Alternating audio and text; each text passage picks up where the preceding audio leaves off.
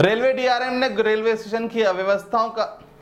railway DRM ने railway की व्यवस्थाओं का औचक निरीक्षण किया वहीं रेलवे के डीआरएम के आने से पहले रेलवे की साफ सफाई एवं सभी व्यवस्थाएं चाक चौबंद कर दी गई थी जिसके चलते डीआरएम को वहां पर अनियमितताएं ना दिखने मिले लेकिन देखने लायक होगा कि कई अनियमितताओं के बाद निर्देश देने के बाद डीआरएम की बातों को किस तरह से पालन में लिया जाता है